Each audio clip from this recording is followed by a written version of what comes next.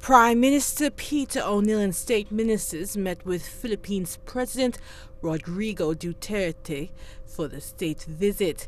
During the state dinner, President Rodrigo said that PNG and Philippines have deepened ties, particularly in increasing an environment of trade and investment in the agriculture and fisheries sector.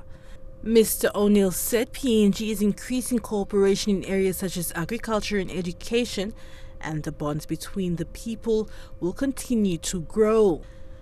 This was what was given by the Prime Minister's media unit, but what wasn't reported is now being reported by the Philippines media.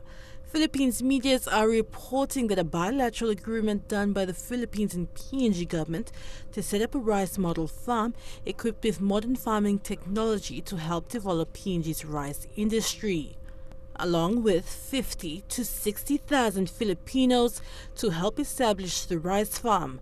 They quote the Philippines Agriculture Secretary Emmanuel Pinol saying that the farm will be set up by both governments, but a private company will be brought in to manage it. Pinol also says 30,000 hectares of land has been already made available for the rice farm. A part of the agreement is that once PNG has self-sufficient rice flow, excess rice will be exported to the Philippines and other surrounding Pacific island nation. EMTV has contacted the Prime Minister's office and a response is expected tomorrow. Adelaide Siraks Kari National, EMTV News.